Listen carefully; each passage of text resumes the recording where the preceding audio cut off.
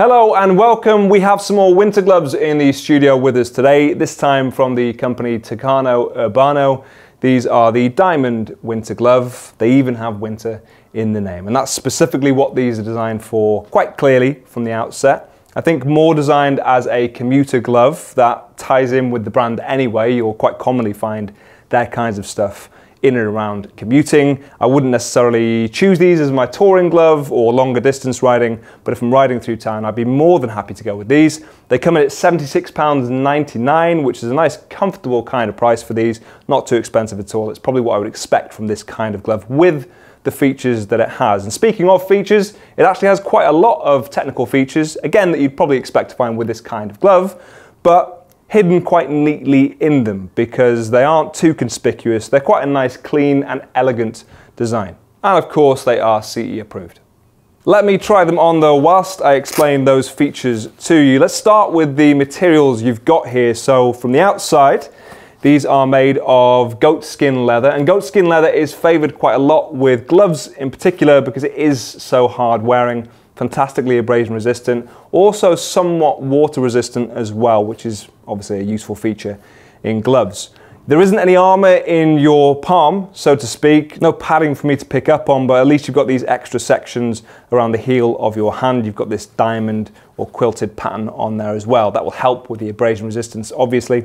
Fastened via Velcro around your wrist, really easy to use, but pretty basic. You have something on your thumb and your index finger for the use of a smartphone or touchscreen. You'll notice this diamond stitching around the back of your hand as well, which is a nice aesthetic feature. Just makes them stand out a little bit. Also down your index finger and your middle finger, as well as this stretch accordion leather around the tops of your knuckles as well, really just there for aesthetics, although it does allow a certain amount of extra flexibility on those fingers.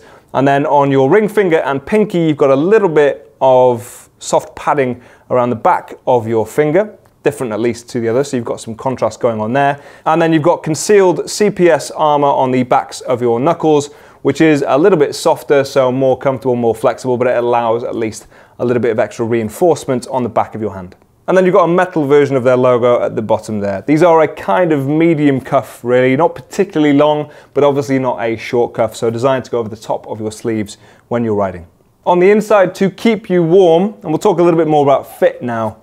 Actually, they are a thicker glove. It depends on you. If you're riding in colder temperatures, you need your gloves to be thick. It's just the compromise you're gonna have to make. So these are thick. They're not the thickest I've ever felt. You've still got some dexterity and feel there, but they're thicker than a few of the ones I've tried more recently from the likes of Revit, for example. You can definitely feel that it is more padded, slightly more padded. You've got microfiber lining on the inside for your warmth, for your insulation. And then for waterproofing, on the inside of this, you have the Hydroscud waterproof and breathable membrane. In case you're wondering, I believe that was developed and popularized for the scooter leg coverings that you will have definitely seen in and around cities, you know, the ones that look like blankets Covering your legs, well, if it's good enough to keep your legs dry, it's definitely good enough to keep your hands dry as well. And it will ultimately add to the warmth and insulation in these as well. So they're a pretty simple pair of gloves with enough features to keep you comfortable while you're on the bike. As I say, they are slightly on the thicker side, so it's up to you whether that is a problem or not. But if it does start to get cold, you need them to be thicker, obviously. When it comes to the sizing, we have an updated size guide on our website, which will tell me that for my size 9 hand, it's the extra large that I have on here that is my size. And I can bear that out because I've tried on the large and it was slightly too snug for me.